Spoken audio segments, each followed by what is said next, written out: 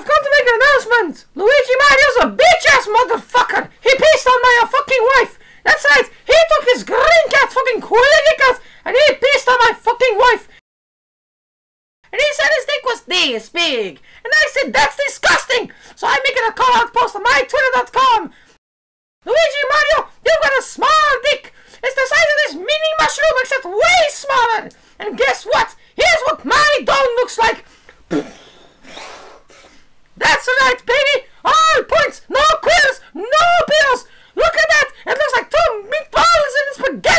He fucked my wife, so guess what? I'm gonna fuck the earth! That's right! This is what you get! My super laser piss! Except I'm not gonna piss on the earth! I'm gonna go higher! I'm pissing on the moon! How do you like that, princess? I pissed on the moon, you idiot! You have 23 hours before the piss droplets hit the fucking mushroom kingdom! Now get out of my fucking sight before I piss on you too!